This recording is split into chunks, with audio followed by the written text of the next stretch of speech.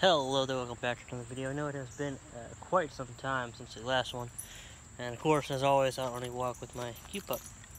Um, so today, I figured I would do a review of, well, obviously, according to the title, CBS All Access, which for those you do not know, it's their subscription service where, you know, kind of like Amazon Prime Video or Prime Video, whatever they call it now, uh, Hulu, Disney Plus, you know, that kind of thing.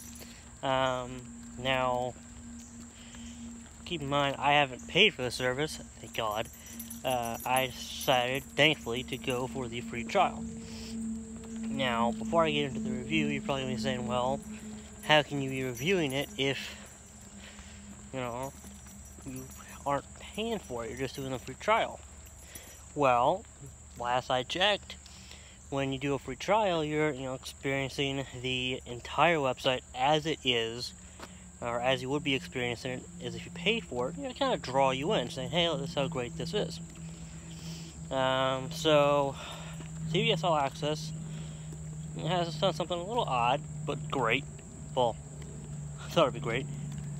Where you know normally a trial is seven days, right? Get the occasional 14 days, you know, usually a week or two, or even you know, a few days, whatever. But, you know, the average one is about seven days. It's about a week, right? CBS All Access is 30 days, so it's a whole month. Right. Waffle, come on.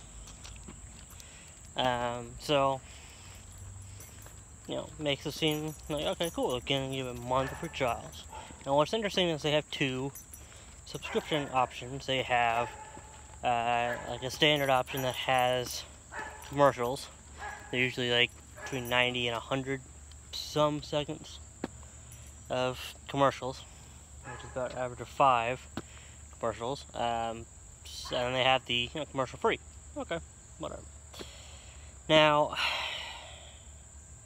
I'm going to tell you straight up right now do not subscribe to CBS All Access.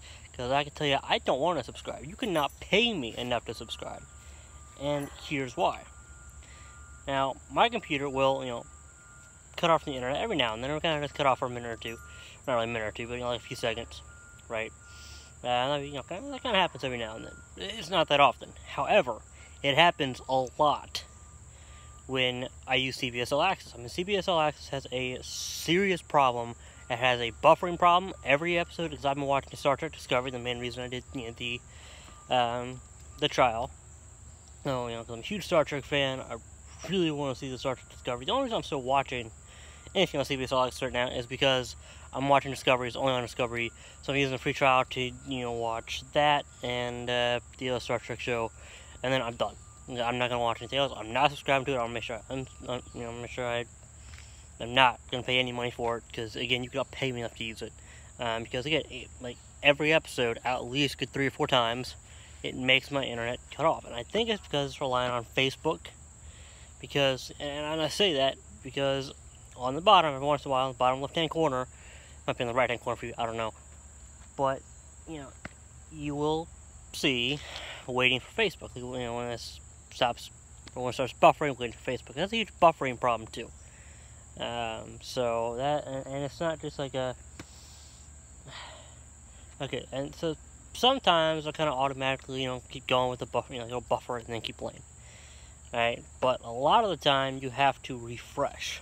Like I've had to refresh uh, a minimum one time per episode. I'm only 10 episodes, really annoying. Sometimes I've had to refresh it three or four times an episode just to fix the buffering, and another two or three times, you know, because it just, you know, connect back.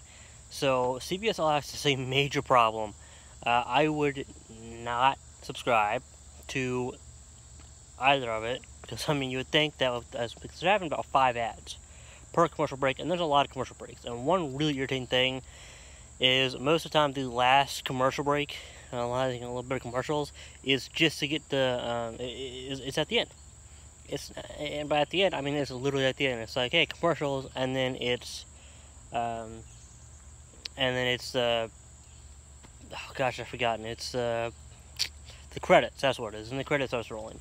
So that's so you think with all the money they're making, you know, just off commercials alone, they would be able to you know, have a system that actually works. So there it is. In short, do not subscribe to CBS All Access. Do not give them your money because I mean, unless they're gonna fix it.